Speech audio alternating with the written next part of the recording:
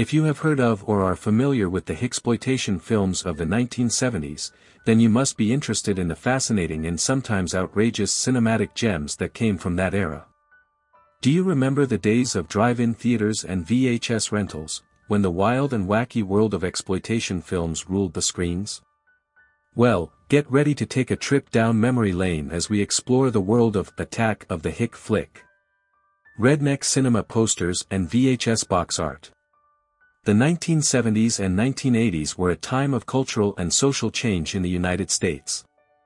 It was a period of political upheaval, economic challenges, and a changing landscape of popular culture.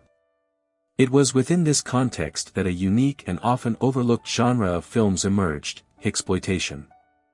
These films depicted the hard-living, hard-drinking, and hard-driving world of the American South, and they were a reflection of the changing attitudes and values of the time.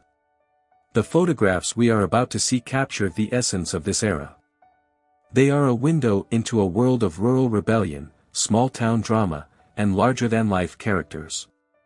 The posters and VHS box art from these films are a celebration of the outrageous and the unconventional, and they offer a glimpse into the world of exploitation cinema that captivated audiences during that period. As we journey through these images, we will be transported back to a time when drive-in theaters were the place to be on a Saturday night, and VHS rentals were a way to experience the excitement and thrills of the cinema from the comfort of your own home. These photographs are not just relics of a bygone era, they are a testament to the spirit of adventure and rebellion that defined that time. The most exciting part is still ahead, so let's immerse ourselves in the images and reminisce about that era. Let's take a step back in time and savor the history that these photographs represent. So sit back, relax, and get ready to experience the wild and wonderful world of exploitation cinema. Yeehaw!